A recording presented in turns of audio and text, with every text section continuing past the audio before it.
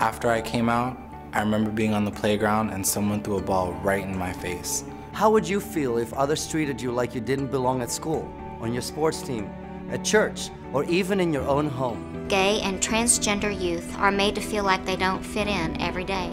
We've all been hurt by words before, so before you speak, think about how your words might affect someone else. You have the power to make a difference. To find out how, go to glaad.org. That's G L A A D.org.